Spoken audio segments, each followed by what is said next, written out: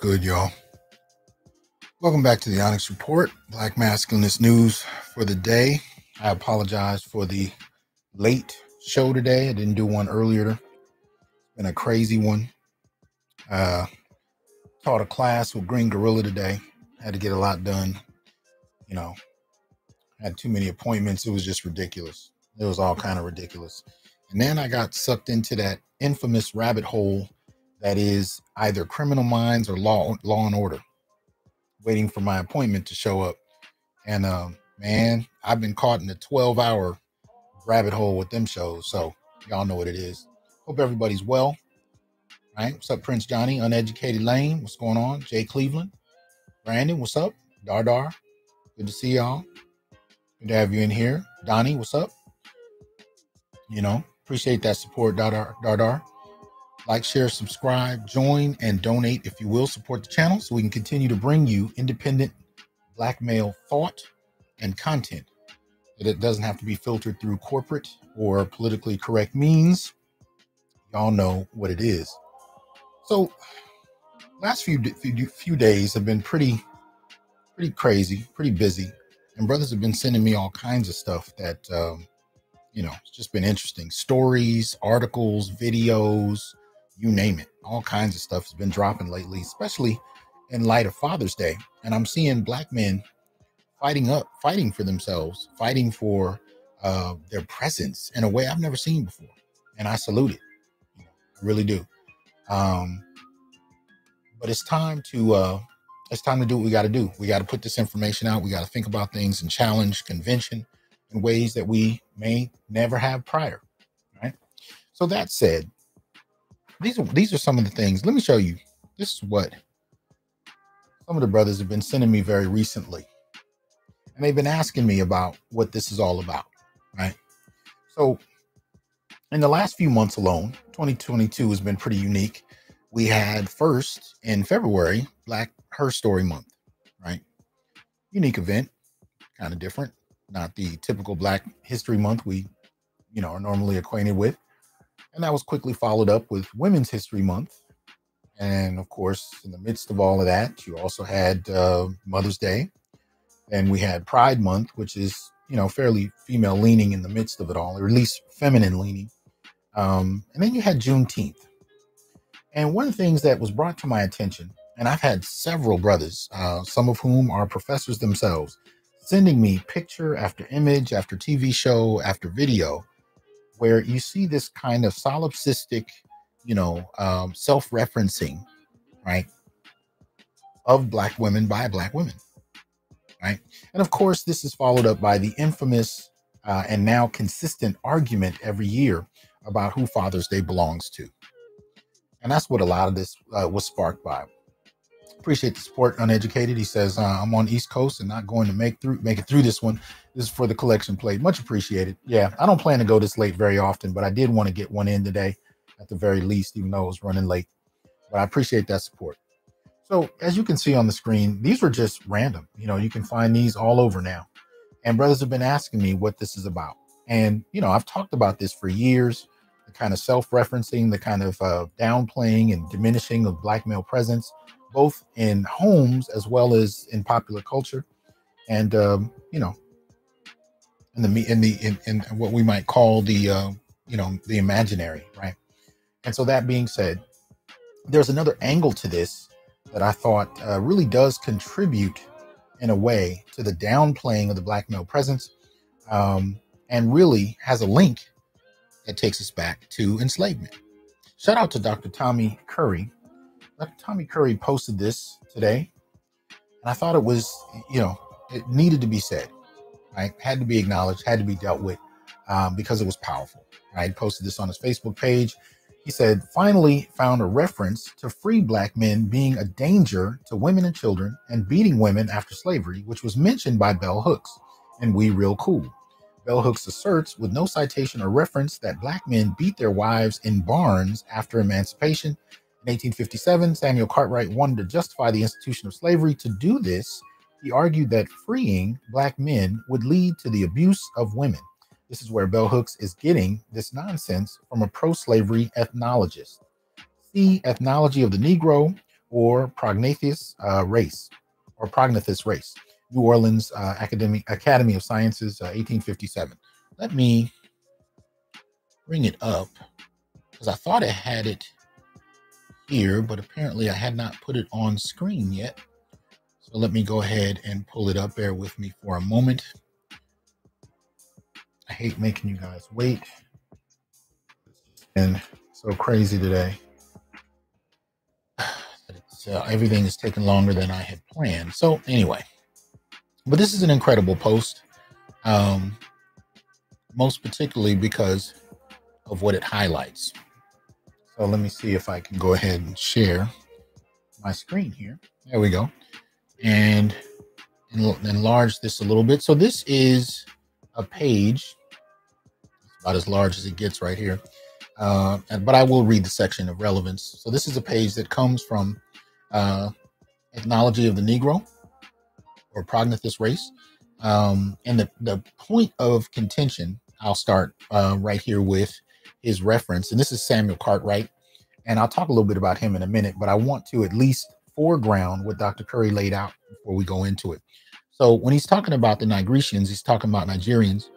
Um, he says, or Africans proper, not only enslave their wives, but uh, pave their courtyards with the skulls of the refractory or disobedient.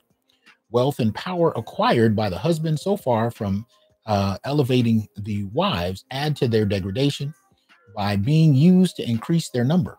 The king of Dahomey, according to the most authentic accounts, has 3,333 living wives, besides a vast number whom he has capriciously murdered. Nor does what is called Negro freedom elevate the colored woman, but sinks them lower. The husbands hold them in abject slavery. They dare not kill them as in Africa, but they best uh, or excuse me, that but they beat and maltreat them in the cellars of New York and other places in the northern states, which they dare not do in the South. The freedom of the husband is a loss to the women and children. They are in slavery still and have lost their white protectors. That's interesting. So Samuel Cartwright here is talking about uh, women and children being slaves to black men without white protectors. Those white protectors, of course, being slave owners themselves. Now, what Dr. Curry does is he relates this to this piece here from We Real Cool by Bell Hooks. And I apologize, I can't make it any larger um, for some reason, but it is what it is. But she says on page four, and it was within this notion of patriarchy that educated black men coming from slavery into freedom sought to mimic. However, large majority of black men took as their standard the dominator model set by white masters. When slavery ended, these black men often used violence to dominate black women, which was a repetition of the strategies of control white slave masters used. Some newly freed black men would take their wives to the barn to beat them as the white owner had done. Clearly, by the time slavery ended, patriarchal masculinity had become an accepted ideal for most Black men, an ideal that would be reinforced by 20th century norms. Now, a couple things to clarify here. You, you need to pick up the man not. Uh, you definitely need to pick up Tommy Curry's man not because that is, you know, that really provides the framework for a lot of this language. But one of the arguments that he deals with in the man not is this question, this assumption, this accusation, most particularly by feminists, that black men seek to emulate white men and thus, as Bell Hooks is talking about here, want to live out a, a white patriarchal fantasy of domination, exploitation, and patriarchal control. Right? This is the accusation that's been levied at black men for quite some time. But what Dr. Curry has figured out is that those accusations are actually based on earlier white ethnologists like Samuel Cartwright, who fabricated arguments with no evidence or empirical um, or no empirical uh, basis, right? These are the kind of arguments that they pose to frame black men. Now, this would happen again in the 1960s and 70s. Dr. Curry uh, also did some work there pointing out and naming the very specific black feminists that actually appropriated what he called subcultural violence theory, or what's called subcultural violence theory, which is in turn an updated version of Samuel Cartwright's work, where you have white ethnologists uh, fabricating data, fabricating arguments, I should say, about Black men without using data, and Black feminists in turn appropriating that information and arguing it as fact. And this has had an impact on us culturally in the Black community, especially among the educated uh, white tower elite, because one of the things it's done is pushed for a but very particular approach to Black men that Black feminists have championed. But when what many of them have overlooked is what Dr. Curry has proven empirically that is, that these arguments are baseless and they actually come as an attack of a, an attack to Black men. It's an attack of Black men um, using information that is inaccurate and has racist or- origins. And he just found another example of that today. Um, so y'all know I'm a supporter of Dr. Curry's work, found founder of Black Male Studies. So this is the kind of thing that scholars in the field have been framing and uh, putting into context uh, for quite a while. So shout out to Dr. Curry, right? Important work that we tend to overlook in many ways, or doesn't get the publicity it should, because in many ways it frames the relationship that we still have in the Black community on many fronts. Shout out to Brandon, says Dr. Curry is Michael Jordan, Michael Jordan, Michael Jackson of Black Male Studies. oh, he called me the LeBron. Okay, that's interesting. uh, Wrench Turner, appreciate that support on the wood for greater good. Appreciate that. Shout out to Ghetto User, always try to support. Much appreciated. You know, but just to also put into context who some of the figures are we're talking about. This is, if you're unfamiliar, Bell Hooks, uh, who passed away uh, a while ago, but uh, is known as one of the, the, you know late 20th century's most prominent Black feminists. She's probably the most uh, one of the most well known, if not the most. Um, and this is a quote from her book Yearning, you know, race, gender, and cultural politics, where she talked about the Central Park Five, right? And so, in that, she says, no one can truly believe that the young black males involved in the Central Park incident were not engaged in a suicidal ritual enactment of a dangerous masculinity that will ultimately threaten their lives, their well being. If one reads again Michael Dyson's piece, The Plight of Black Men, focusing especially on the part where he describes the reason many young black men form gangs, the sense of absolute belonging and unsurpassed love, it is easy to understand why young black males are despairing and nihilistic. And it is rather naive to think that if they do not value their own lives, they will value the lives of others. Is it really so difficult for folks to see the connection between the constant pornographic glorification of male violence against women that is represented, enacted, and condoned daily in the culture and the Central Park crime? And we all know that it was later revealed that those men were innocent. And many of them went to jail um, on grounds that they never should have, right? But this is coming from a black, prominent black feminist at the time was talking about black men and Central Park 5 accusations as not only truth, but truth that was reflective of black masculinity as a whole, meaning that even if the Central Park 5 were guilty, they are a small representation of black manhood in general, right? And even though a lot of people today may not even know about, you know, Bell Hook's spe- specific arguments or Michelle Wallace or uh, Ntozake Shange or you know, you can name the list of them. The arguments have snowballed and they've been appropriated, picked up, and internalized even by younger scholars. And this is something I noticed at the university level um, who don't know these works in particular, but have inherited the anger and rage at Black men. But when you get to the source, when you get to the earliest stage of that snowball, what Dr. Curry is highlighting is that it actually began with a lie. It began with a lie written by white ethnologists, whether it was in the late 19th century or in the mid 20th century neither of which was proved with any empirical data. And yet it's taken hold on the perception of Black men. Now, in terms of Samuel Cartwright, who Dr. Curry is pointing out is the foundation of um, you know this particular argument about black men after slavery wanting to beat their wives and emulate white slave owners. Got to keep in mind Samuel Cartwright, 1793 to 1863, was the founder of the concept or the uh, he de- developer of the concept of drapetomania right? The desire to escape slavery or mental disorder uh, akin to madness, right? For those who fought against slavery, right? So he framed the fight against slavery as a mental illness, right? These were the kinds of works in place. Again, no real empirical research. These are assertions by slave owning white men in positions of authority. Shout out to Jay Will. He says, You let them speak long enough, uh, they sound exactly like white supremacists. They subtly uh, started their own version of the great replacement theory with their with their policing of our dating choices. Absolutely. Absolutely. And the reason they sound like uh, white supremacists is because they're actually using white supremacist talking points. They're lifting them wholesale from publications. And of course, now that we have social media, from social media as well, right? So uh, Cartwright argued he, uh, that the cure for drapetomania in slaves was to treat them like children with care, kindness, and humanity to pre- prevent and cure them from running away and offer frequent whippings. Cartwright also described another disorder, dysaesthesia aethiopica, called by overseers rascality, was a disease affecting both mind and body that explained the apparent lack of work ethic among slaves. Right? So, this is who Bell Hooks is pulling from when they start to talk about these arguments about where black men must get this urge to dominate, exploit, and beat women. And you'll hear this even to this day. I had a brother reach out to me just yesterday. Well, I get a, I get about 100 messages a day at this point and shout out to those that send those. I, I really do appreciate it. But if you're going to send me videos, you got to tell me why you're sending it to me.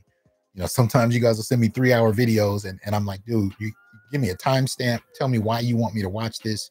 I would appreciate it because I don't always have a lot, a lot of time, but I do want to let you know I appreciate that support and your willingness to send me that information. Nevertheless, when it comes to something like this, you know, to understand what's actually being pulled and why and where. Like, you know, as I was saying, one of the brothers sent me some of the uh, the internal arguments to some of these feminist Facebook pages, right, that are closed, and and you know he managed to be in one, and he talked about the assumptions and the arguments made about black men murdering black women in mass, right? These kinds of assumptions, these kinds of of, of baseless accusations. When you really get down to it, even when you're talking about intimate partner homicide, you're really talking about a few hundred per year, men and women. The numbers are not that far off but as a good so, a good sociologist friend of mine told me, hold on, let me close these pages. People like to hit me with messages in the middle of a show. Anyway, um, you know, even in the midst of of these uh, various arguments, oh, crap. All right, lost my train of thought.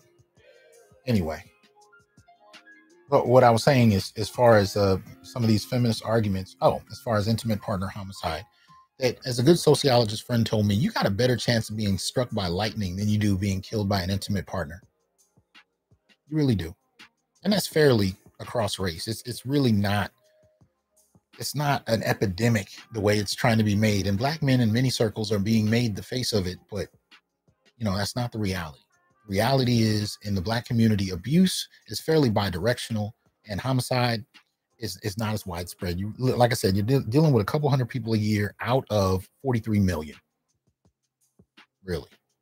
But this is the depiction. This is the political angle of this that's been used by feminists against black men for decades. And this argument really, some of these arguments go back to the 19th century and need to be put in proper context. So I just wanted to kind of clarify that and shout out to Dr. Curry uh, for this brilliant assessment because in many ways, going back to the beginning of what I was talking about, when we get to this here, this you know unabashed self-celebration, this unabashed downplaying of the black male presence in family, the black male presence in um, in relationships, a lot of it is rooted in very old ideas, ideas that come from lies or unsubstantiated arguments that are designed to malign the imagery and memory of Black men. And it's continued to be used even by established news organizations, acad- you know, academic uh, enterprises. Uh, this is a constant in terms of how Black men are perceived, and it remains such. And it's time Black men start speaking out. But the problem has been more so than anything, we haven't had the platform to do it. So actually taking what we're doing and applying it, you know, on a wider scale is imperative, right?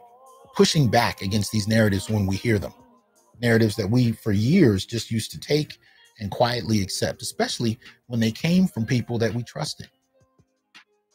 Any of you that have sat in university classes and developed relationships with some of these, you know, feminist scholars, scholars that were, you know, often considered almost mother figures to some. It's hard to actually accept that the material that they're actually referencing is highly problematic. It can be hard to accept that. But when you actually look at the data, and this is why I think the you know kind of intellectual revolutionary revolution that Dr. Curry, myself, uh, Green Gorilla, Dr. Ronald Neal, and a number of others are trying to push is to really use evidence to situate and historically contextualize where these arguments are coming from and actually look at the ways they impact black folks. Shout out to Dr. Thunder. He as well is part of that enterprise. Right. What's up, uh, Rodney? What's going on? Right. This push to make sense of black reality beyond assumption, beyond just baseless accusation. And it really helps us to understand this right here. Right? This entitlement. This lone woman narrative where black men becomes these monstrous you know, these monstrous beings that they have to survive. And the very idea that black men can find themselves in a vulnerable position, unthinkable. We have to get to the reality of what black men are living. And that's one of the reasons I appreciate you all in the comments, most especially because one of the things I notice y'all will do is you'll start telling stories about the things you've experienced. And I think it's important, it's imperative that those stories be told, those stories be written, those stories be published, whatever means you have of telling your story and providing evidence for it. You guys know who watched my channel in the last few months. I've I've interviewed black men who've gone through, you know, intimate partner violence in their relationships, and I support the push to have that video evidence made public and definitely used in court cases. Because without it, the popular narratives that people like Samuel Cartwright were happy to proffer about black men take hold. Whether you're talking about juries, judges, lawyers, they have no problem seeing black men as monsters. That image has been constructed over generations. So to actually have black men pushing back with evidence about how they're treated, imperative. And just like Amber Heard with Johnny Depp, what did she tell him? Nobody's going to believe you. There are pl- plenty of people that take advantage of the idea that black men are monsters and victimize and, and, and harm black men on the basis that nobody will believe that they actually weren't monsters that didn't initiate violence. It's time we push back against these narratives. It's time we challenge them with information and accurate data. Because this shit has been going way too long. Way too long. It needs to change. And this is one of the reasons I salute y'all because the brothers that I see in here uh, will email me about uh, debates that they're having in other circles, whether it's in families, whether it's online, whether it's at the job, whether it's in classes. I got grad students reaching out to me trying to find out how they can actually begin to get more publications and they themselves publish material in line with Black men's experiences. We're experiencing a renaissance of sorts of Black men, and people are hating to hear it. People are literally frustrated about having to listen to black men. And it's interesting to see right? Um let me see i don't think i'm never really clear on what i can actually show without getting uh, my videos taken down let me see if i can play a little bit of this somebody sent me this earlier today the video by a young Caucasian male who, let me see, I know what I'll do. I'll show it on screen this way. So you can kind of see him here. This is a YouTube video. All right. And so, uh, let's see, I'll play him a little bit. So you can hear, I'm not going to play the whole thing because his voice is frankly annoying, but I want you to hear the level of frustration. And I'll tell you why this is relevant in a moment, but here we go. Okay, hold on. Y'all know how it is. Too many things going on all at once. Let me get the sound right so you can hear it. So it starts with a clip that's actually a clip from another show. And then he responds to it deal with a, a woman that's over 200. All right, I get it. I get it. I promise. I got it the first time. I got it the second time. I got it the third time. How many goddamn podcasts do we need? A some man coming up in here and telling me what he likes to suck and what he likes to fuck, completely unprovoked. Nobody asked. I just see these goddamn videos on my for you page. Every time I press not interested, I scroll away. I press not interested. I scroll away. You come back for more. You won't leave me the fuck alive. I'm sick and tired. The women you're talking about are tired. The women you're not talking about are tired. The men in the back are tired. Shit, the non-binary people are asleep. We all want to go home, and you will not fucking let us. It is June 2022 and we were still doing this shit. What is it that you need exactly? What what do I have to do for you to leave me alone? Did I was it me? Did I come up to you with a Glock and tell you to go put your penis in that single mother over there or else I'm gonna shoot? I don't recall doing that at any point. You don't want to sleep with these women? Don't. Like I don't. What do you want me to tell you? I, do you want me to some? Basically, this was a post sent to me on Facebook by this uh, Caucasian dude, skinny dude, who's talking about how frustrated he is about listening to all these videos about black women and black men's uh, dating and mating choices. But the reason I play this is because it was a black woman on Facebook that posted it, and it, and the title of it, as she put it, was "We are all tired," right, with a whole bunch of emojis, right. And so what I said is, I'm not quite sure what this white dude has to do with the issue, but y'all think you're tired of black men stating their preferences in the last year as if we've always done that. Trust me, that's a new thing. I said, if you're tired, then imagine how tired we are 40 years of talk shows, magazine articles, TV shows, movies, so called academic papers, and presentations highlighting everything from slanderous myths about absent black fathers to black men needing to make six figures and be in perfect shape to even be worthy of being considered for dates. You've had one year of a small percentage of brothers in social media saying this, but we've endured 40 in the mainstream. Please stop it. Right. But my point in bringing up all of that is that you're starting to hear people frustrated with having to hear black men for the first time, and they are just as afraid, uh, just as frustrated at hearing these new dating arguments that black men are making, as they are hearing Dr. Tommy Curry and Dr. T. Hasan Johnson talking about black male studies whether we're talking about it in the academy or on social media. The same frustration is at the base of it. They don't want to hear it. And why don't they want to hear it? Because black men have been traditionally silent.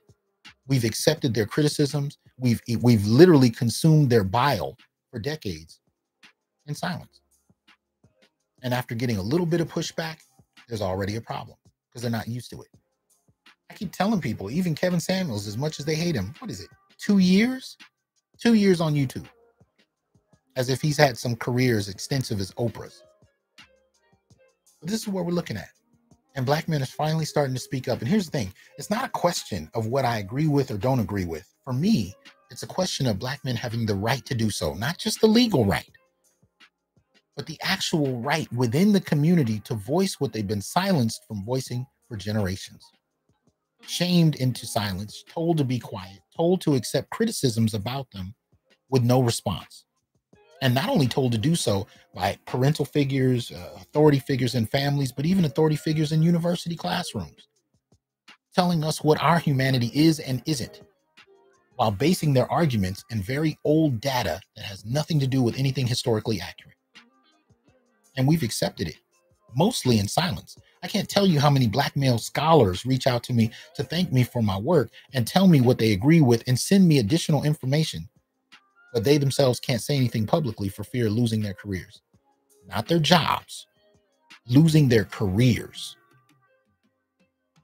So at the end of the day, we need to keep this pushing for the sake of truth, not for the sake of rage, not for the sake of revenge, but for the sake of accuracy, for the sake of the voiceless generations of black men that had to take this shit in silence and be quiet we got to speak up for our sons so that they don't have to inherit this uh, inherit this unnecessary silence. Shout out to Jay Will, because in their stepdaddy insurance policy is being ripped to shreds.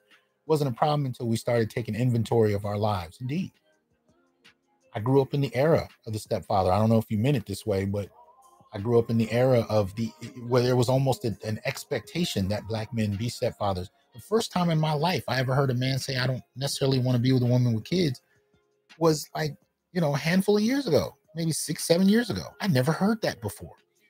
And it's not about liking it or disliking it, agreeing or disagreeing. It's about the fact that we were shamed into not being able to even say it. And so I'm liking the fact that there's this renaissance of black male voice and I think it's past due. Shout out to Prince Donnie for the support. All right, says the Black Woman Trans Alliance is becoming more obvious. Yeah, these kind of things are.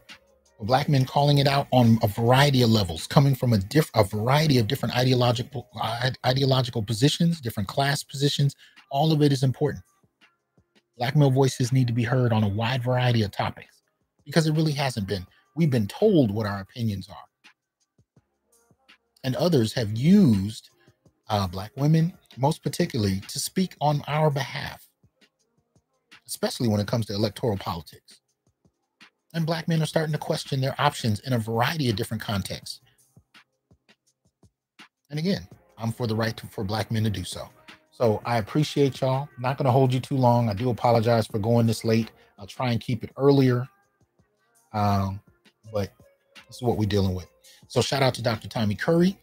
Shout out to all of y'all who support Black Male Studies, who should, who support the Manosphere, who support uh, the Onyx Report. I appreciate you.